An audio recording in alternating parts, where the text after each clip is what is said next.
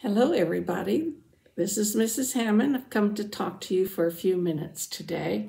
I have somebody special sitting here on my lap. I'm going to pick him up so you can get a good look at him. This is Toby. He's a member of our family. Today, I'm going to talk to you about families and how important they are to us. And uh, Toby's important to us, especially because all of our children are grown up and moved away.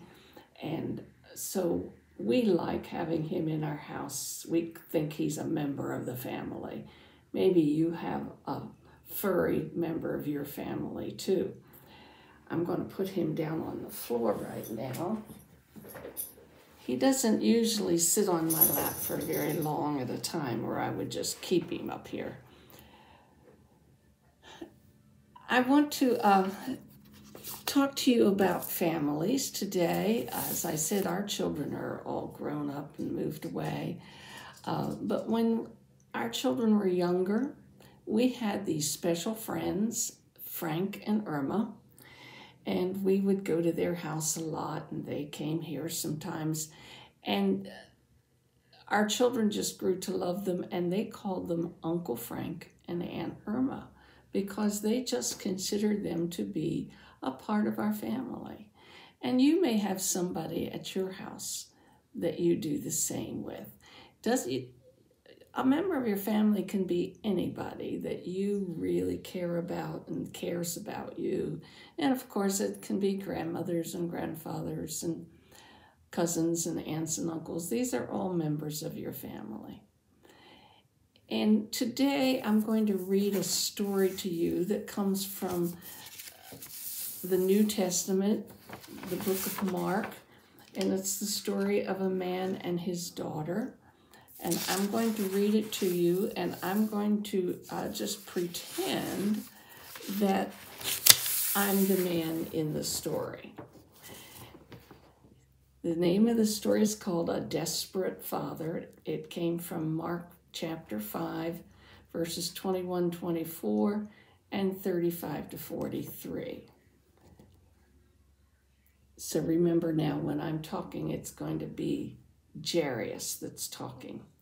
Good morning. When I heard that you were learning that Jesus cares about our families, I just had to come and spend some time with you. You see, Jesus did something for my family that I'll never ever forget. His, my name is Jairus, and I'm leader, a leader of the synagogue in the city of Capernaum. A synagogue is like a Jewish church. People come to the synagogue to worship God, pray, listen to the priests, and read from the scriptures. When we heard that Jesus was coming to our town, everyone was excited. Well, almost everyone. Some of the Jewish leaders here and in Jerusalem think Jesus is a fake. I don't agree. No one but the Son of God could do the miracles that Jesus does. But I've learned to keep quiet about my opinions so that I don't get in trouble. My story is about my daughter. She's a 12 year old bundle of energy and laughter and love. One night, my wife heard our daughter cry out in her sleep. She got up to see what was wrong and then came running back to me. Jairus, Jairus, she cried, shaking my shoulder. Our daughter is burning up with fever. I don't know what's wrong. What shall we do? We sat by her bed the rest of the night, but there was nothing we could do to help her. By morning, she didn't even know who we were. A hard lump of fear knotted in my chest. She's going to die, isn't she? My wife asked. Just then I heard some of our neighbors out in the street. Come down to the lake, they shouted to anyone who would listen. Jesus, the teacher from Naz- the teacher from Nazareth, is there. If anyone can help our daughter, Jesus can, I told my wife excitedly. If I could just get him to come here. Hurry then, Jairus, my wife urged. Go quickly. You must come get him to come here before it's too late. I found Jesus in the middle of a huge crowd of people. Let me through, I cried. I pushed and shoved until I finally got through. Then I fell at Jesus' feet. My little daughter is dying. Please come and put your hands on her so that she will be healed and live, I begged. Jesus agreed to come. We must hurry, I urged. But then a woman touched Jesus' robe and was healed. When Jesus stopped to talk to her, I almost panicked. Then I felt one of my servants tugging at my sleeve. Your daughter is dead, he said. Why bother the teacher any more? Before I could respond, Jesus looked me straight in the eye. Don't be afraid, he said, just believe. I tried to believe. What else could I do? When we arrived at my house, Jesus asked the mourners, Why are you crying and making so much noise? That child is not dead, only asleep. Some people laughed at Jesus, but I kept on praying that he was right. We went to the bed where she lay all white and still. He took her hand and commanded, Young girl, I tell you to stand up. And she stood up, ran to my wife and me, and gave us a big hug. Jesus smiled at us as we stood there hugging and crying. He gently reminded us to give our daughter something to eat, and then he left. I'll never forget that day. I learned that Jesus really does care about families, and not only families in Bible time. Jesus cares about your family right now in our time.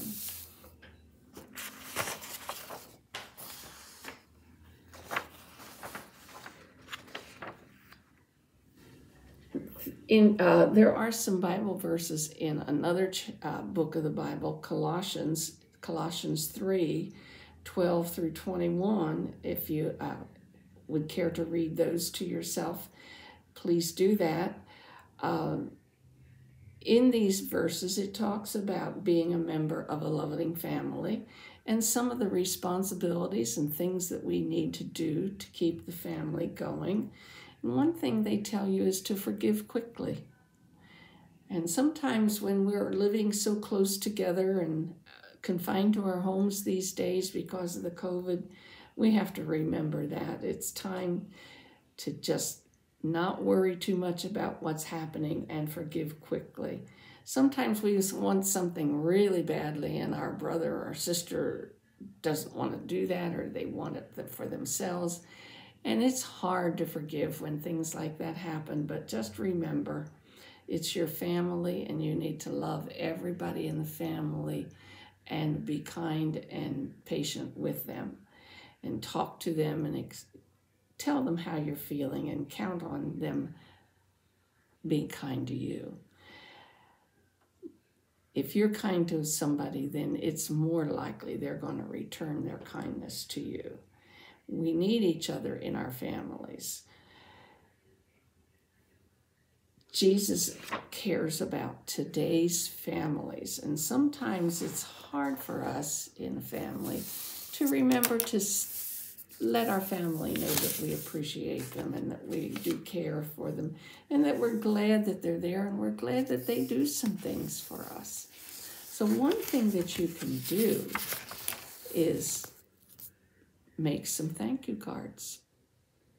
Maybe your brother or sister, your grandmother, somebody in your family does something nice. And it's so special if you make them a card. I think, especially, I know I'm a grandma, so I love it if I get a homemade card. I like that better than one that was bought in a store sometimes. I made some samples of cards that you might want to try to make. Or maybe you have a way of making your card yourself.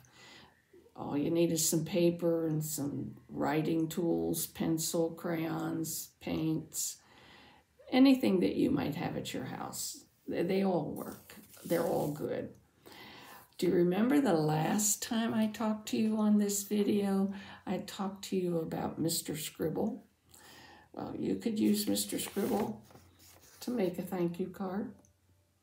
You just do a scribble, put two eyes at the top, put a happy mouth on him because he's a happy person. He's happy that you've done something nice for him.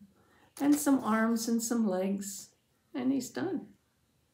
Any way you want those arms and legs to look is good.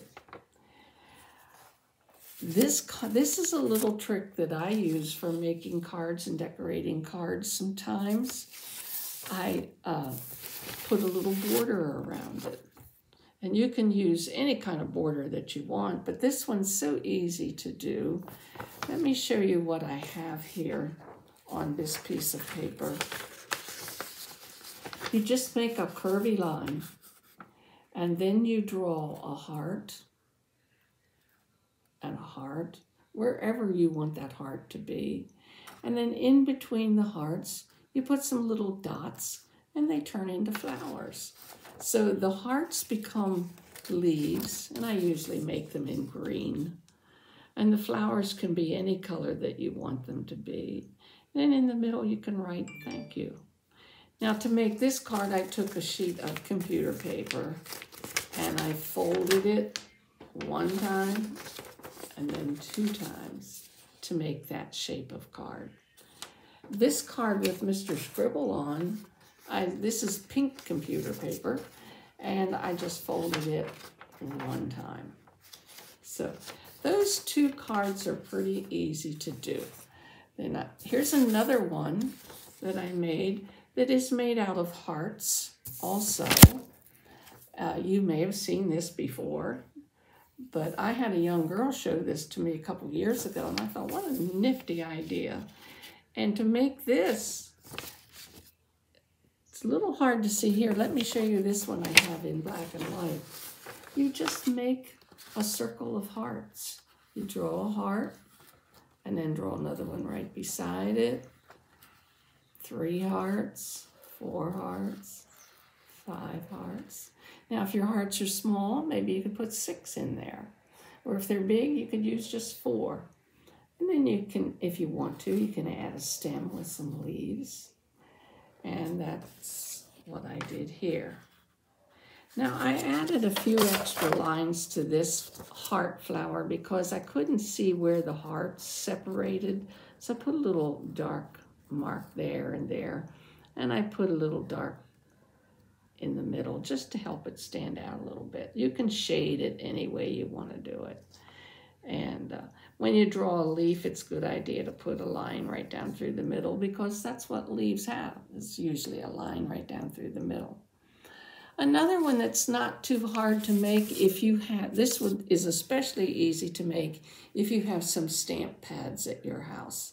I didn't have any, so I made this one, and I think stamp pads would work better.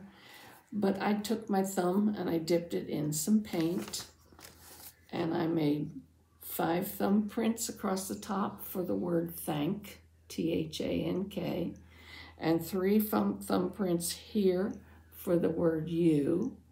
And then I put a little curvy line on it and it turned into a balloon. So that's a thank you balloon card. And on this one, I folded the paper all the way across, made it a long card. And then you could open it up and write something inside if you wanted to. Don't forget to sign your name to the cards that you make.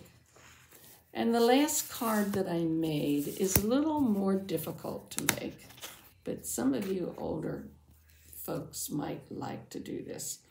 I used painter's tape. Now, painter's tape is nice because you put it on something, but then it pulls away easily. It's usually blue, sometimes it's green, and you can buy it at the paint store. So maybe at your house you have some painter's tape in with the paints that you might have at your home. But I made the letter T with this tape. This is the only tape I had. I would have rather had narrower tape. It would have been easier to do, but this was all that I had. So I made a T and I did this on a long sheet of paper. This is a heavier weight paper, which is nice for cards. And the letters for thanks T H A N K S. I made those all with blue tape.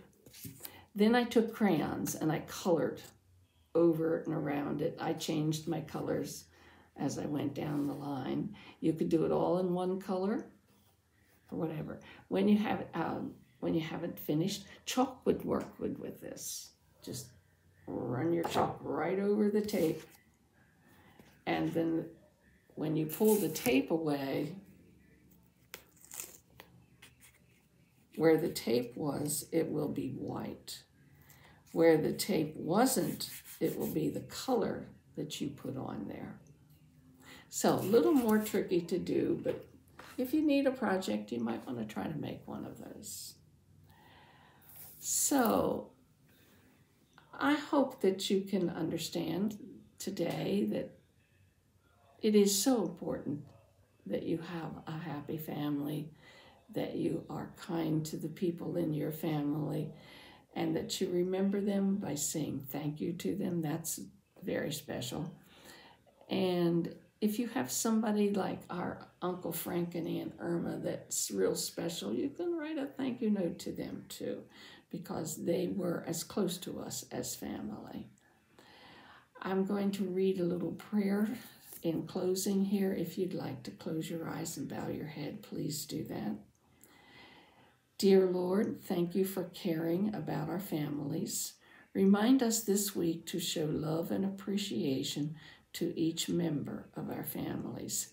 Help us to be slow to get angry and quick to forgive. In Jesus' name, amen. Thank you for spending some time with me, and I hope to be able to see you before too long. Things are looking better. Hopefully, by this summer, we can be back in church. Keep our fingers crossed and say some prayers. Bye now.